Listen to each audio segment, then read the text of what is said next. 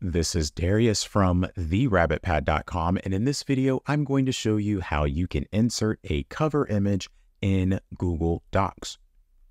A relatively new feature in Google Docs is the ability to add a cover photo to your documents. Now, please note this only works in pageless mode. And if you're not familiar with how that works, you can click on the video above or in the description to see details about that. So, if you want to add a cover photo to Google Docs, what you do is you select Insert, then you select Cover Image. Here you will have the choice to upload from your computer or choose from stock images. I'm going to choose from stock images. Here, you can pick the category that you want to choose your photos from.